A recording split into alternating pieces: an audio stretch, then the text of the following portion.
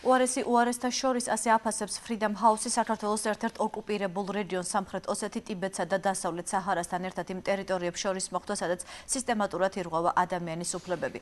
ავტორიტეტული საერთაშორისო ორგანიზაცია მიიჩნევს, რომ პოლიტიკური უფლებების დარღვევისა და სამოქალაქო თავისუფლების შეზღუდვის კუთხით ვითარება ერწოდებული სამხრეთ ოსეთში არჩევნების დროს გაუარესდა.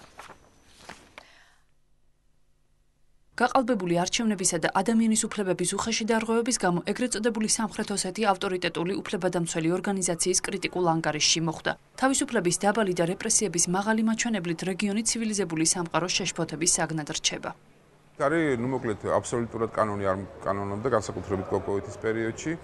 ეხლა არ არის დახვეწილი, მაგრამ ნუ ყოველ შემთხვევაში მაშინ სულ სხვა მდგომარეობა იყო, ეს კლასიკური პატარა დიქტატურა. და ესე იგი ყოველთვის გამარჯვებული იყო კანონის თვალსაზრისით კოკოიტის კლანის წარმომადგენელი.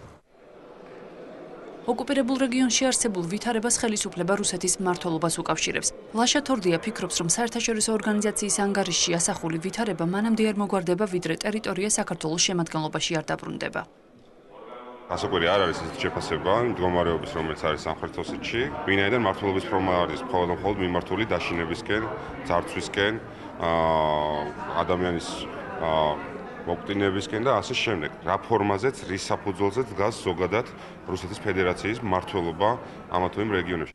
ექსპერტი არჩილ გეგეშიძე ფიქრობს, რომ ეგრეთ წოდებულ სამხრეთ ოსეთში დასავლეთის კრიტიკა ნაკლებად აღელვებთ. თუმცა დარწმუნებულია, რომ მსგავსი ანგარიშები ოკუპირებული რეგიონის არაღიარების პოლიტიკას კიდევ უფრო გაამყარებს. Human Rights Watch-ის ეს დასკვნა ფიქრობ გაამყარებს მოსაზრებას საერთაშორისო თანამეგობრობაში იმის თაობაზე, რომ საქართველოსში არსებულ კონფლიქტურ კონფლიქტურ ზონებში სამართლებრივი სივრცე არის დეფექტური.